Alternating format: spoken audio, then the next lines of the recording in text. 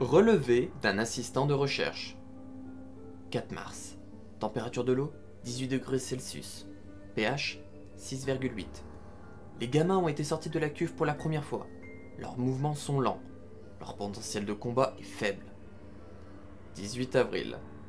Température de l'eau 20 degrés Celsius. pH 6,8. Injection de plusieurs hormones et médicaments. L'un des sujets a montré des résultats positifs, avec une élévation sensible du potentiel de combat. Le spécimen est désormais capable de se déplacer rapidement et d'avaler des proies en entier.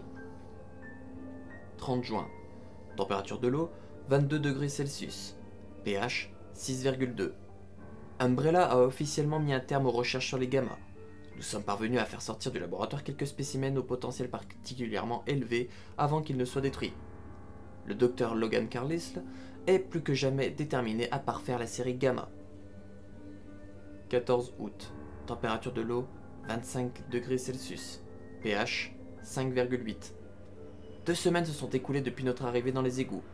La hausse des températures a entraîné une baisse de la qualité de l'eau. Mais malgré tout, les spécimens se portent bien. Les gamins ont rapidement mémorisé la configuration des égouts et en deux jours, ils ont exploré toutes les galeries souterraines de Raccoon City. Ils sont habitués à notre présence et ne nous attaquent pas. Mais nous nous sommes munis d'armes puissantes au cas où ils deviendraient incontrôlables. 1er septembre. Température de l'eau 23 degrés Celsius. pH 6,1.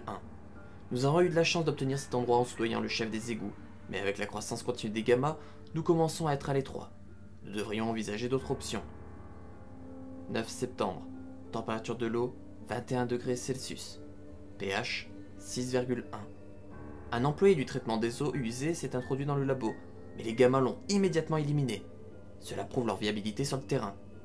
Je vais contacter la branche européenne demain. Peut-être que ça les intéressera.